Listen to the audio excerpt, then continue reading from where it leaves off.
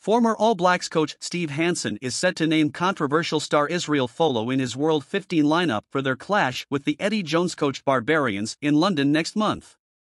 Folau is being earmarked to play in a star studded backline against the world famous Barbarians invitation side, which will be overseen by the Wallabies coach.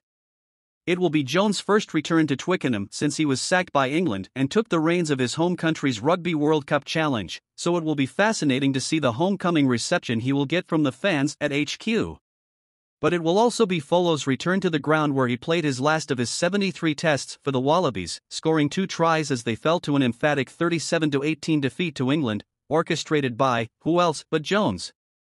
The 34 year old's inclusion in a world side coached by Rugby World Cup winning coach Hansen is not likely to be met with universal appreciation after Folau was sacked by Rugby Australia in 2019 after homophobic and offensive social media posts.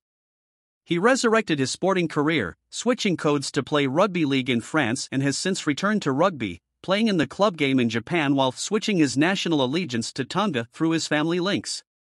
He hopes to play for them at the Rugby World Cup.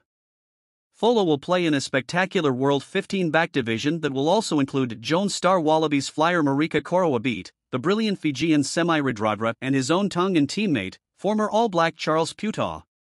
Koroibete won the John Eales medal for the second time last month, and Jones will get a close look at how a coach of Hansen's standing plans to go about neutralizing one of his key weapons.